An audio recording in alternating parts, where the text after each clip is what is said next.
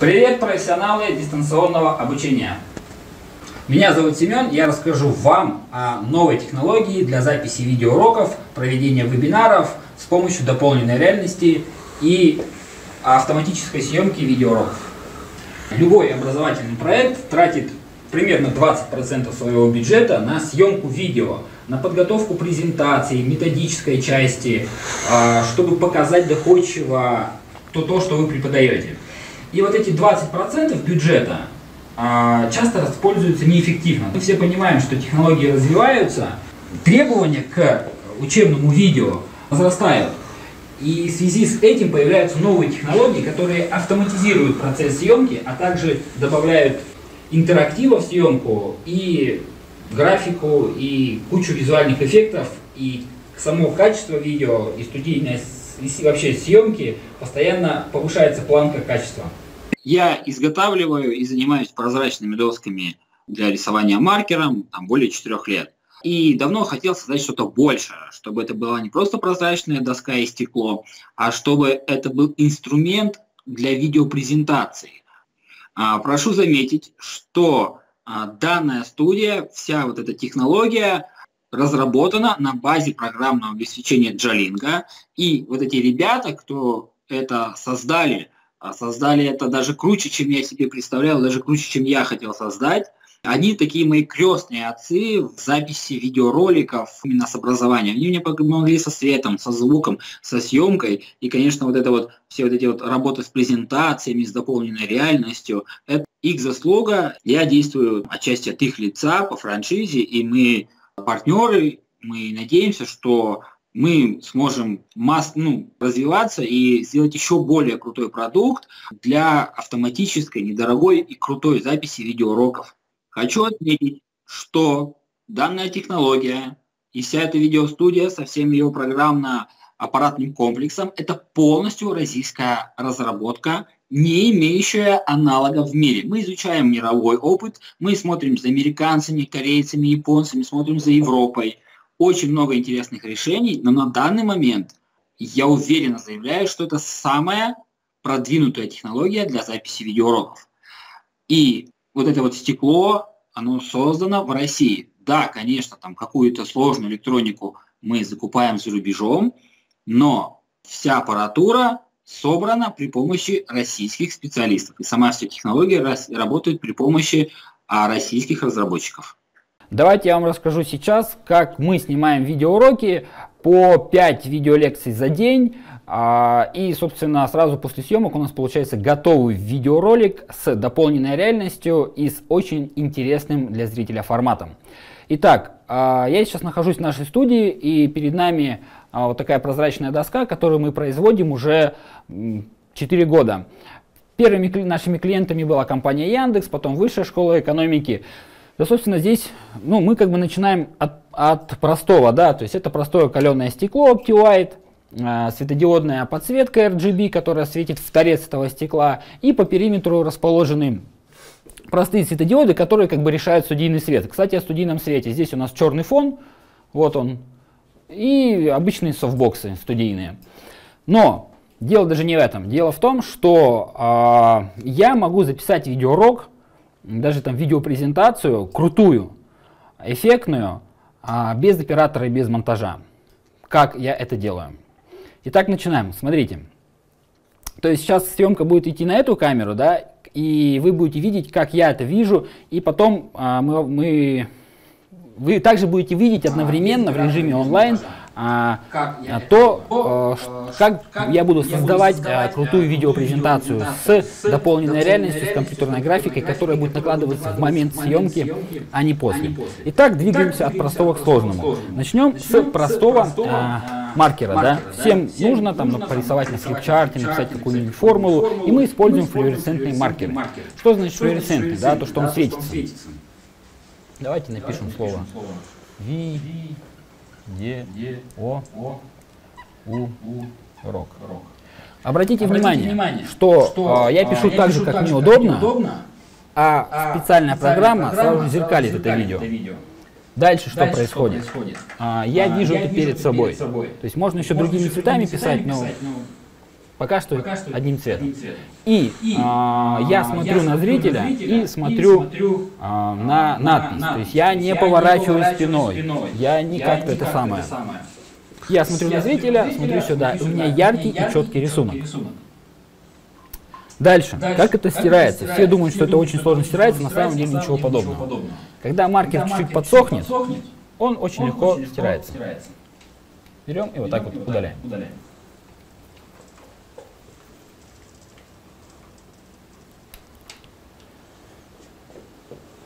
Стерли надпись. Что происходит дальше?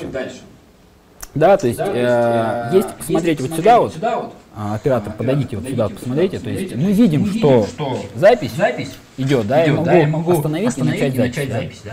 Ну, давайте мы вот так вот включим. Вот я вижу это вот так вот.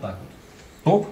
И поэтому я нажимаю стоп. Заново мы запускаем трансляцию, да, и мы видим, что запись уже идет а, несколько секунд.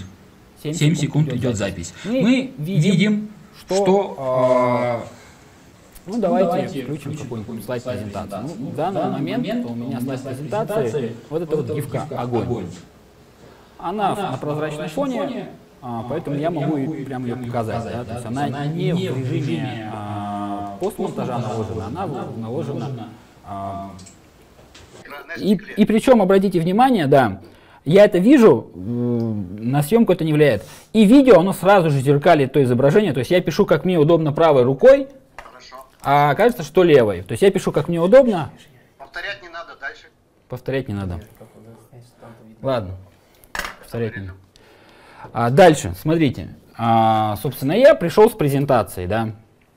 Ну, давайте включим какой-нибудь слайд презентации. Ну, в данный момент у меня слайд презентации, вот это вот гифка «Огонь». Она на прозрачном фоне, а, поэтому я могу и прям ее показать, да, то есть она не в режиме а, постмонтажа наложена, она наложена а, Прямо сейчас она вставляется в видео как дополненная реальность. Если говорить о технологии, то это через карту видеозахвата камера снимает по HDMI сразу же на сервер, где специальный софт сдваивает мою презентацию и а, это видео. Но самое интересное, друзья, что я могу двигать эту гифку. То есть я могу взять ее вот так вот передвинуть, да, например, взять и сказать, вот так вот ее взять, и вот она наша дополненная реальность огонь. Вот. А, собственно, она у меня не просто на стекле э, появляется, а она, я вижу это все в мониторах. Мониторов, ну, в данном случае у нас два, но в идеале их шесть. Ну, давайте двигаться дальше. Смотрите. То есть можно, можно кликером включать следующий слайд, и я следующий слайд, и вот здесь вот могу вам показать. Следующий слайд, я вот тут вот в правом верхнем углу вижу, какой следующий слайд. Например, следующий слайд у нас наш логотип. Это наш логотип, он тоже на прозрачном фоне, и я тоже могу его вот так вот передвигать. Давайте его в левый верхний угол передвинем. А, дальше. э, следующий слайд можно включать кликером, но можно и сенсором. И переходим как бы к самому интересному. Переходим к самому интересному. Друзья, что я э, могу двигать, я могу двигать этот график и могу его увеличивать и уменьшать. Ну и, конечно же, здесь, если я захочу, например, здесь я могу рисовать. Вот наш график, мы его... И он сразу же вставляется в видео. И следующий слайд я уже включаю не кликером, обычным кликером э, Logitech, презентер его еще называют, а сенсором. Например, на следующем слайде у нас сайт. Сайт, который автоматически ставился в видео, он немножко прозрачный. И я его скроллю, собственно. То есть система подгрузила из интернета сейчас наш сайт, и он ставился в видео. Давайте следующий слайд. На следующем слайде у нас э, слайд, сделанный в PowerPoint, и обратите внимание, какой он прозрачный. То есть это работает как хромакей наоборот. То есть в студии с хромакеем мы можем задний фон изменить, здесь мы перед спикером все, что, все можем поставить. И обратите внимание, то есть это просто PowerPoint, это записывался один из наших клиентов, и я вижу слайд перед собой, смотрю в камеру, смотрю на зрителей, рассказываю им, и вот обратите внимание, что Ну, что вот что-то, в общем, стою, рассказываю, показываю. Если мне нужно рисовать, я беру маркер и, и начинаю здесь рисовать. Дальше. Ну, вот, конечно, слайд нужно подготовить, да, специальным образом. Вот мне вот это пример неудачного слайда, когда очень нагружена информация. Мы ее разбиваем, да, мы ее просто разбиваем на заголовок и подзаголовок. В принципе, все вот таким образом, вот это вот основное, как мы используем. И э, как, как мы работаем с презентациями, с рисованием, с графикой.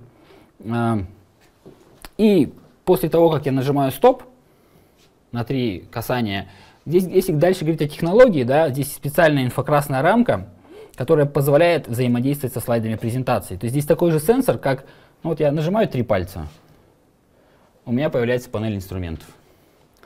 А, ей можно управлять там с, с рабочего места ассистента, ну, как бы я сейчас один управляю. Можно с сенсорного монитора также немножко а, править саму презентацию в режиме съемки. Но сейчас а, я как, показываю вам, как одному записать. То есть у нас может быть слайд, так сказать, вообще без презентации, да, то есть вот он появился, и спикера вообще нету. Ну, вот это как раз то видео, которое недавно выложили на стену а, группы сообщества в Фейсбуке профессионалы обучения. А, и слайд без спикера я просто как бы включаю следующий слайд. Ну, можно сделать презентацию таким образом, да, то есть я сделал скринкаст, я показываю, что по запросу онлайн обучения у нас 75 тысяч запросов. То есть это вот так вот все выглядит. Ничего сложного, по опыту говорю, что э, все, кто приходит даже в первый раз, немножко поработать, ну, то есть по сложности это не сложнее, чем обычные съемки. Нужно говорить, говорить четко, внятно, харизматично. Нужно стараться показывать, рассказывать. Ну вот здесь вот у нас э, такой инструмент, э, разработчики его называют карта. Я обязательно э, скину сайт разработчиков и наш сайт к этому. В общем, можно э, двигать, двигать э, документ и переходим, наверное, к самому интересному. Ну, опять же, тут гифка вставлена, просто на черном фоне. Ну, вот тут элемент, что как, как э, скриншот из нашего видео, где мы рисуем маркером. Переходим к самому интересному, уже рисованию не маркером, а сенсором. Да, то есть мы открываем панель инструментов. Я, моя моторика уже привыкла, что ну, это буквально с пятой попытки мы привыкаем все видеть себя в мониторах, уже видеть себя в дополненной реальности. То есть на стекле как на таковом ничего не появляется, но я вижу это сразу же в мониторах. И я выбираю инструмент э, рисования, и опять могу написать слово о гу че ни е. Здесь ошибку, друзья, составил. С ошибкой написал слово обучение. Поторопился. А, в общем, Юрий Николаевич, вот так это выглядит. Можно вы, выиграть, э, ну, онлайн, он, онлайн эфир, э, прямой эфир, поэтому извините, как бы. А, а, ну и можно выбрать, да, ну давайте я вам пока, покажу еще эффект сразу же, что можно выбрать другой цвет а, и написать уже зеленым. Как все стирать? Давайте я вам покажу, как все стирать. Для этого используется специальная наномагнитная губка при помощи которой мы прикасаемся к сенсору и... Это, шут, это шутка? Это шутка. Вот. Ну и мы как бы стираем. Сам, сам, самое прикольное, да, то, что мы можем рисовать, как бы, да, мы можем рисовать прямо на, на нашей презентации. Вот к съемкам видеоуроков, я уже не говорю о методической части, это понятно, нужно подготовить хорошую презентацию, если вы сто раз рассказывали, вы там преподаватель в ВУЗе, и вы сто раз рассказывали, то, ну, конечно же, просто приходите, рассказывайте, импровизируйте, не нужно суфлера, я против суфлера, потому что, ну, теряется эта живость, теряется смысл э, задумчивости, да. В съемках всегда, если вы пойдете на любые съемки, берите с собой 2-3 варианта одежды, потому что, ну, ну иногда ну, не заходит какая-то одежда обязательно не чисто черное, не чисто темное, потому что оно может будет сливаться с фоном, либо наоборот белое будет пересвечивать. Обязательно на съемках всегда не надевайте мелкую э, ну, одежду в э, с мелкую полоску или в мелкую клетку, она будет ребить. Но в съемках это запрещено.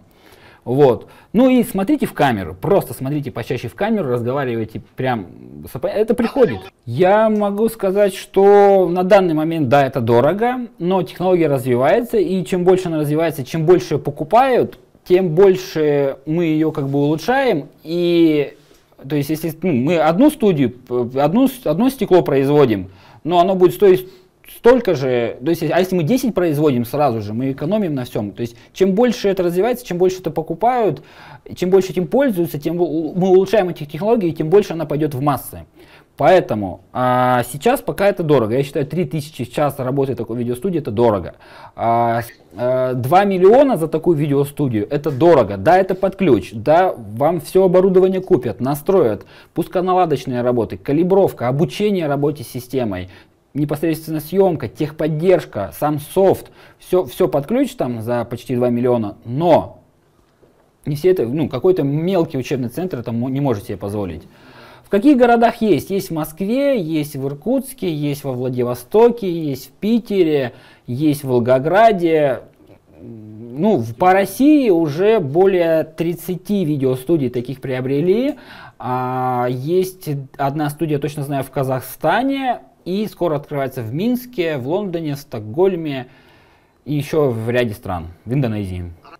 Все, кто желает попробовать, я приглашаю, э, потому что ну, у нас есть продукты, да, которые Смотрите, вот мы, мы как бы разделяем, да, потому что бывает, спикер приходит даже без презентации, или она очень ну, некрасивая, это работа дизайнера. То есть мы, мы вам просто говорим, что отдельно 3000 в час это отдельно работа студии. Работа оператора, работа дизайнера, методиста, не знаю, визажиста и монтажера, если там много плохих дублей, это оплачивается отдельно.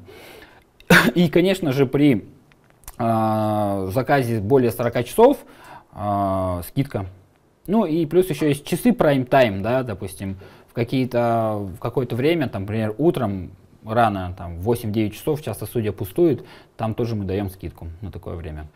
Друзья, призываю вас, э, вот раньше я сказал, напишите свою книгу, поделитесь своими знаниями. Сейчас я вам призываю всех, запишите свой видеоурок. Автоматизируйте собственный бизнес, запишите крутую серию видеоуроков и, уверяю вас, что ваше личное время в офлайне, в э, работе лично со студентами подорожает. Почему-то многие преподаватели думают, сейчас мы запишем видеоурок, и э, наши знания лично никому не нужны будут. Вы сами должны развиваться, развивать свою тему, развивать свою экспертность. И когда вы запишете видеоурок, вы поделитесь этими знаниями, вы их, и вы их можете масштабировать. И я призываю вас вот, записать, знаете, видеокнигу. Вот видеоучебник, запишите, если вы эксперт в какой-то области, запишите себе крутой видеоучебник, доходчиво понятный, так, чтобы люди в Африке могли это смотреть и учиться, и чтобы через там 100 лет, а, так же как там Ломоносов, а, вас могли ставить в пример, что вот был основоположник такой, да, и он записал видеоурок там, не знаю, по физике, и сейчас до сих пор его методика а, используется даже спустя сто лет. Вот призываю вас записать такой крутой, качественный, такой качественный видеоучебник, чтобы даже через сто лет а, вас приводили в пример как основоположника своей ниши, своей экспертности. Коллеги, благодарю за внимание. Присоединяйтесь к нашему чату, к нашей видеодискуссии. Обсудим технологии съемки видеоуроков. Они будут разные. Кто-то говорит, что можно на постмонтаже положить, кто-то говорит, что можно использовать какое-то дорогое железо, разные программы, там OBS Studio. Давайте это сейчас все обсудим, выработаем какое-то а, какое-то понимание, что в каких моментах лучше использовать. Да, и просто подискутируем на эту тему, и я отвечу на ваши вопросы. Спасибо за внимание.